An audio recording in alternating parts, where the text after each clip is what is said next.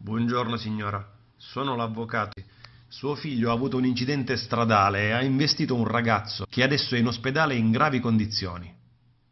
Adesso suo figlio è in caserma, in stato di fermo. La situazione è molto complicata, però ho parlato con il maresciallo e mi ha detto che la cosa si può risolvere, però servono subito 5.000 euro.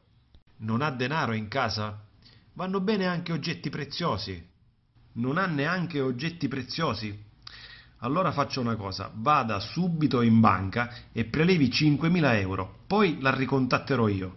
Mi raccomando però signora, vada subito in banca e se le dovessero fare dei problemi per prendere tutti questi soldi, dica che ha fatto dei lavori a casa e che deve pagare gli operai.